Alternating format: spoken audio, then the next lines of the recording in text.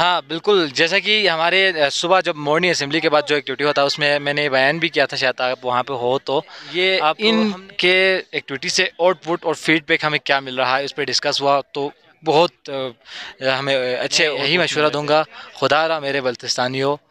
आगे बढ़ने के लिए गिलित बल्तिस्तान को आगे लेके जाने के लिए लीडर्स की ज़रूरत है।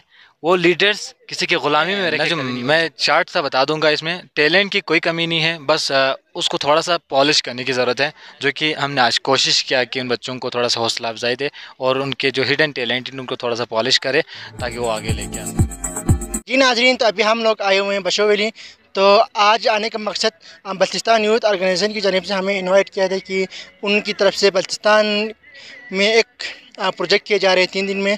तीन दिन के जो कि हर साल वो अपने टीम के साथ मिलकर बल्तिस्तान यूथ ऑर्गेनाइजेशन ऑर्गेनाइज करते आ रहे हैं। और, उन्होंने जो सीईओ थे, शकील फ़िदा, उन्होंने हमें पर्सनली कॉल करके कहा था कि आप भी यहाँ आएँ और यहाँ घूमें और यहाँ के जो खूबसूरती के बारे में देखें और इस इवेंट को कवरेज करें। तो हम आइए नहीं जानते कि इस इवेंट को ऑर्गेनाइज करने का इनका मकसद क्या है और कितने दिन तक ये इवेंट चलेंगे? असल वालेकुम सलाम। सबसे पहले हम आपको शुक्रिया अदा करते हैं कि आपने हमें इस इवेंट में आने की दावत की। थैंक यू सो मच तो आप मुझे ये बता दें कि इस इवेंट को करने का आप लोगों का मकसद क्या है और ये कितने दिन तक जारी रहेंगे?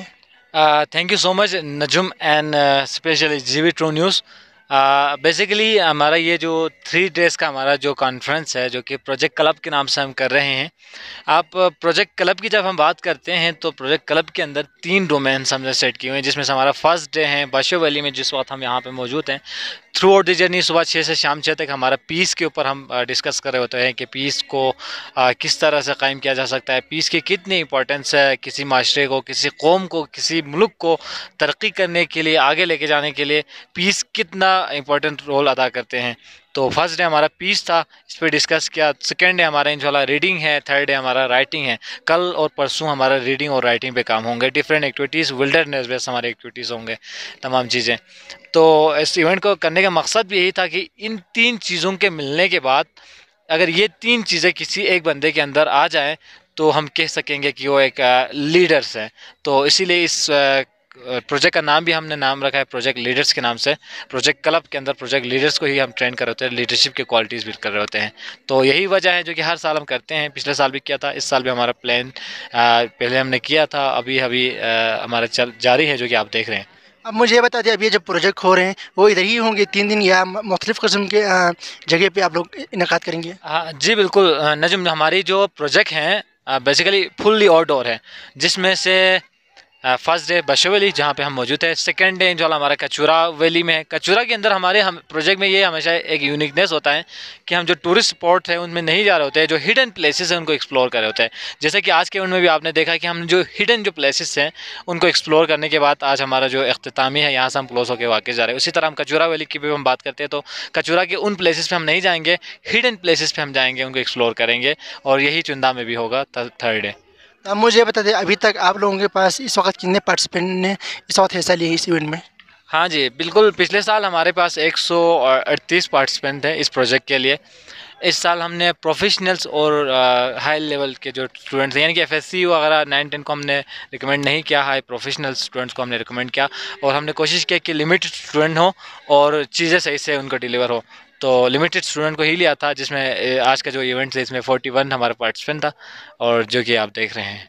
अच्छा आप मुझे ये बता दें अभी जब हम कवरेज कर रहे थे उस वक्त आप लोगों ने कैसे एक्टिविटी की? आ, कोई मतलब आप किसी अनजान जगह पे एक्स लिख के आप लोग आए थे और इसके बाद ग्रुप बनाकर स्टूडेंट को वहाँ पर भेज दिए थे। तो आप मुझे ये बता दें इसको करने का मकसद क्या था? हाँ बिल्कुल लाजमन मैं एक शार्ट सा बता दूँगा क्योंकि एक बहुत डाइवर्ट हैं, जिसको एक्सप्लेन करें तो पूरा शायद आधा घंटा लग जाऊँ। क्योंकि आपने पता देखा, वो एक्टिविटी हमारा डेढ़ से दो घंटे का एक्टिविटी था। और शार्ट सा बता दूँ तो ज़िंदगी का एक एक्स पॉइंट होता है। उस एक्स पॉइंट को फाइंड करने के लिए आपको ज़िंदगी के किन किन मुश्किल से आपको गुजारना पड़ता है और मिलने के बाद आपके ज़िंदगी के उस फीलिंग और तसरत तसरत को जानना था, जो कि आपने देखा। मेन थीम यही था।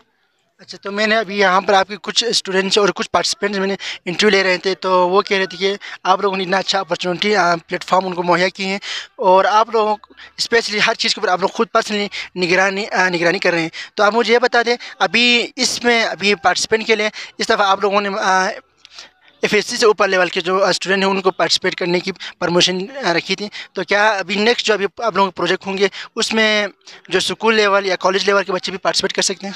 हाँ बिल्कुल। जैसा कि हमारे सुबह जब मॉर्निंग असम्बली के बाद जो एक्टिविटी होता है, उसमें मैंने बयान भी किया था शायद, आप वहाँ पे हो तो। आप हमने ये इन के एक्टिविटी से आउटपुट और फीडबैक हमें क्या मिल रहा है उस पर डिस्कस हुआ तो बहुत हमें अच्छे आउटपुट मिल रहे थे। अब उसमें हमने ये है कि जूनियर्स लीडरशिप के नाम से जो हमारा नेक्स्ट प्रोजेक्ट होगा, जो कि हमारा मुहर्रम से पहले नेक्स्ट मंथ के एंड में हमारा प्लान है, इंशाल्लाह।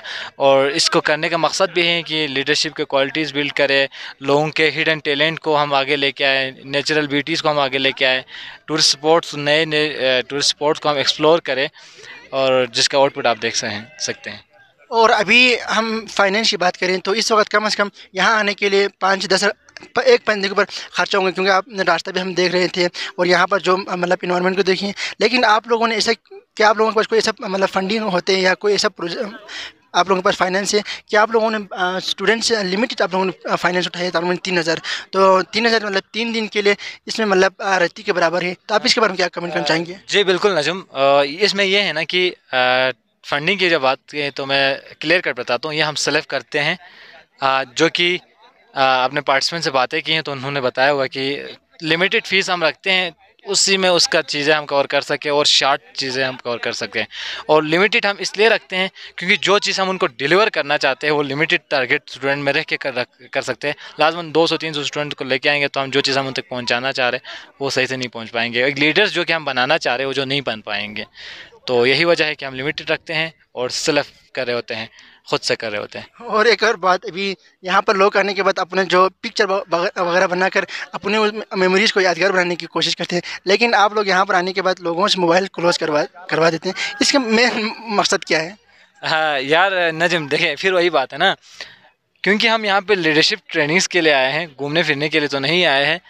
अब एक बंदा लीडरशिप के ट्रेनिंग्स को अपने अंदर बिल्ड करने के लिए, अपने अंदर चीज़ों को नेचर को फील करने के लिए आपको उन रोज़मर्रा ज़िंदगी के मामला से हटना पड़ेगा मोबाइल से हटना पड़ेगा सेल्फी से हटना पड़ेगा, तब जो है हम जो चीज़ आप तक पहुंचाना चाह रहे हैं डिलीवर करना चाह रहे हैं, वो सही से आप समझ सकेंगे और आप सही से आप सही से समझ सकेंगे और हम सही से आप तक पहुँचा सकेंगे। अच्छा तो आप आखिर में क्या कमेंट करना चाहेंगे?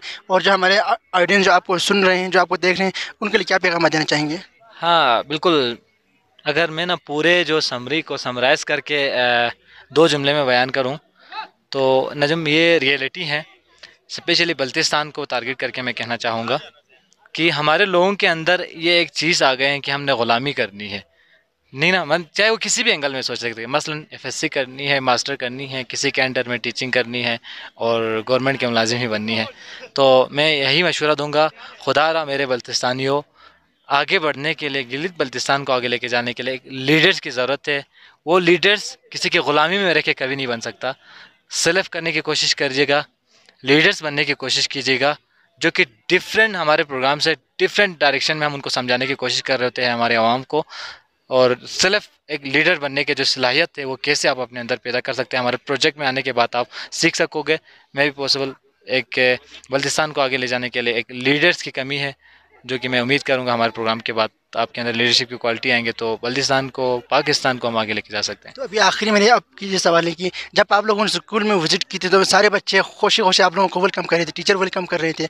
आप लोग, वहाँ पर जाकर स्कूल में मुख्तलिफ़ कस्म के आप लोग, उनको मतलब अवेयरनेस के बारे में बताएँ इन फ्यूचर क्या क्या करना चाहिए। तो आप मुझे ये बताते, जब आप वहाँ पर गए, ऐसे आप एक प्लेटफॉर्म के थ्रू गए बी वाई आप इस वक्त माशा सी हैं तो आपको कौन सी चीज़ की कमी लगी? क्या यहाँ के जो स्टूडेंट हैं उनके अंदर कोई ऐसा टैलेंट है जिनको आगे ले जाने के लिए हमारे गवर्नमेंट को कुछ स्टेप उठाना चाहिए? देखें नजम मैं चार्ट सा बता दूँगा इसमें। टैलेंट की कोई कमी नहीं है बस आ, उसको थोड़ा सा पॉलिश करने की ज़रूरत है जो कि हमने आज कोशिश किया कि उन बच्चों को थोड़ा सा हौसला अफजाई दे और उनके जो हिडन टैलेंट उनको थोड़ा सा पॉलिश करे ताकि वो आगे लेके आ सके। कमी की अगर बात करते तो लाजमन जहाँ पे कुछ न होना गलत है कुछ होना कभी गलत नहीं है। अल्लाह का शुक्र अदा करते हैं कि इस जगह पे इतने डेंजरस रास्ते से होता हुआ ऊपर आके यहाँ पे एक स्कूल है शुक्र करते हैं अल्लाह का नियमत है। ठीक है?